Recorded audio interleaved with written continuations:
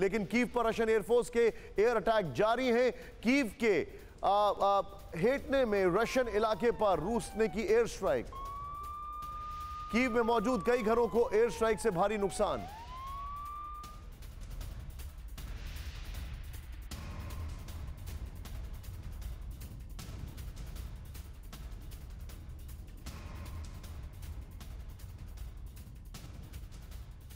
एक और बड़ी खबर बताना चाहूँगा। कीव के पास 40 किलोमीटर लंबे रूसी मिलिट्री काफले पर यूक्रेन की स्ट्राइक सीधे दिखाएँ। रूसी फौज पर यूक्रेन के फाइटर जेट्स की एयर स्ट्राइक। जो जनरल मिस्तो बोल रहे थे, सर, वही मैं अब आपको दिखाने जा रहा हूँ, ये देखें आप। यूक्रेन की मिलिट्री इंटेलिजेंस यूनिट का दावा, फाइटर जेट से रूसी मिलिट्री पर हमला किया गया। यूक्रेन ने यह कहा है। मैं चाहूँगा इस ब्रेकिंग और विजुअल और वो वॉल के साथ सीधे मैं चलूँगा। मेरे साथ अशोक सर मौजूद है। अशोक सर, एक इंटरेस्टिंग एलिमेंट यह है। कीव के पास पिछले चार दिन से रशियन फोर्सेस हैं। बहुत लंबा कैवलकेट है but they are not moving in American intelligence ये कह रही है कि उनके पास रसद नहीं है। यूक्रेन ये कह रहा है कि वो उनको कांस्टेंट टारगेट कर रहे हैं। हमारे पास वो विजुअल्स आ रहे हैं, जब ड्रोन से उनके टैंक्स उड़ाए जा रहे हैं। We have seen those visuals हमारे पास विजुअल्स आ रहे हैं कि फाइटर प्लेन्स उन पर अटैक कर रहे हैं। आपका असेसमेंट क्या है?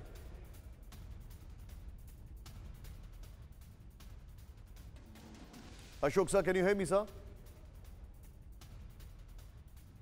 I think Ashok sir तक मेरी आवाज़ नहीं आ पा रही है। मैं रूही के पास चलूँगा। रूही, आप वेस्टर्न इंटेलिजेंस क्या इसमें इनपुट शेयर कर रही है?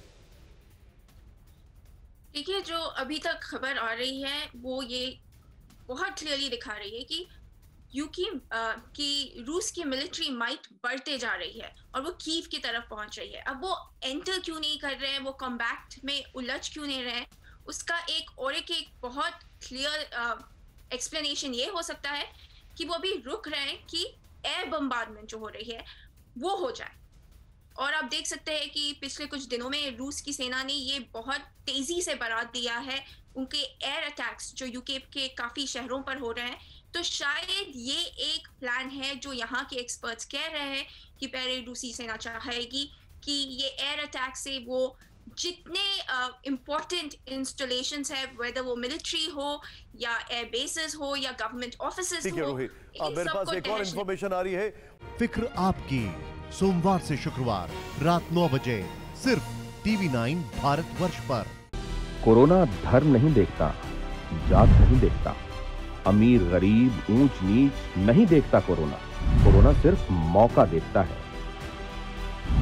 लेकिन आप उसे मौका मत दीजिए। बस इतना कीजिए, जब कभी दफ्तर से, बाज़ार से घर लौटिए तो इतना ख्याल ज़रूर रखिए, कहीं आपके साथ कोरोना आपके घर तो नहीं जा रहा। भूलिए मत, कोरोना अभी ज़िंदा है।